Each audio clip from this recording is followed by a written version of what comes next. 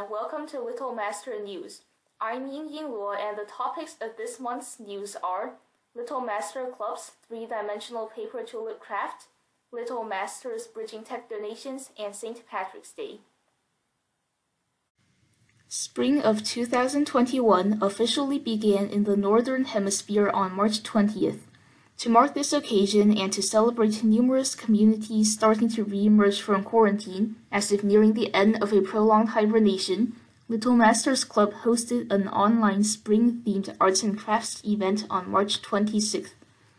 Participants constructed vibrant three-dimensional tulips, including stems and leaves, by gluing together pieces of cardstock paper onto a background. In particular, flower petals were shaped symmetrically using simple techniques of kirigami, a variation of origami that revolves around folding and cutting paper. The art of kirigami, like its more well-known variant, originated from Japan. At the end of the event, artists proudly presented their creations to the group of seven people host included, and admired each other's work. On March 10th, Little Masters Club's STEM group organized an ongoing charity program called the Bridging Tech Charitable Fund in collaboration with First LEGO League team Marshmallow Pandas. The program collects donations of used devices from benevolent people throughout Bellevue, Redmond, and Lynnwood. Devices are first fixed if necessary and purged of all personal data. Then, homeless children whose families cannot afford the equipment necessary to attend online school receive the devices to aid their learning.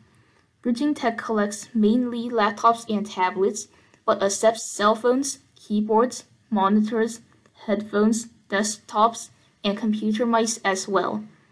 Bridging Tech has received three laptops, two tablets, and seven monitors so far. Monitors are being packaged for delivery in the first week of April. In April, Bridging Tech plans to continue to work towards an Earth Day tech drive. Annually on March 17th, people in over 50 countries celebrate St. Patrick's Day, a holiday originating in Ireland. Also known as the Feast of St. Patrick, this holiday honors the patron saint of Ireland on the date of his death in the 5th century CE and celebrates the arrival of Christianity to Ireland or Irish culture in general. Celebrations include parades and festivals featuring Irish music. Traditions include wearing green on this day because St. Patrick's followers believed the color green made them invisible to mischievous leprechauns who would pinch anyone they saw. Clovers, especially four-leafed ones, represent St. Patrick's Day because clovers grow plentifully in Ireland.